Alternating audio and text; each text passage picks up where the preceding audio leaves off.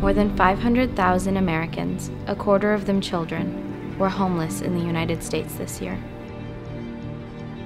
Three tornadoes ripped through the Dallas area, killing 11 people and damaging hundreds of buildings. Human trafficking generates $32 billion annually. Every year, over 100,000 girls in the U.S. are trafficked.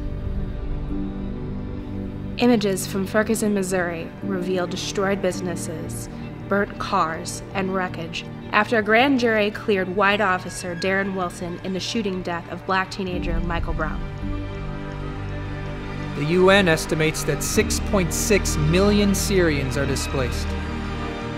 Each day is a struggle for clean water, food, and shelter. Paris is under siege as mass shootings, explosions, and a hostage situation hit France's capital. At least 129 people reported killed. A senseless tragedy. A senseless, senseless tragedy. A senseless tragedy. A senseless tragedy. Where today is that shining light? Where, Where today is that beacon of hope? Where, today is that Where today, today